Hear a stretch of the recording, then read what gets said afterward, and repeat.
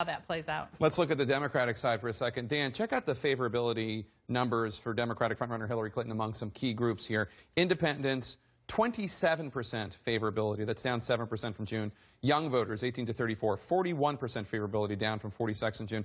Women voters, 41% favorability, down from 52% in June. Dan, th these are not good numbers for Hillary Clinton. No, I will admit that. These are not good numbers. But I would say a couple things. One, look, she's had a she's had a rough summer. She's been sort of through the ringer all summer on a whole host of things. But I think the thing that we have to look at is in this race right now, Hillary Clinton is acting as the de facto incumbent. It is we're not testing Hillary Clinton against a specific Republican. We're testing Hillary Clinton against, as the, as the vice president always says, don't don't compare me to the almighty, compare me to the alternative. Mm-hmm. And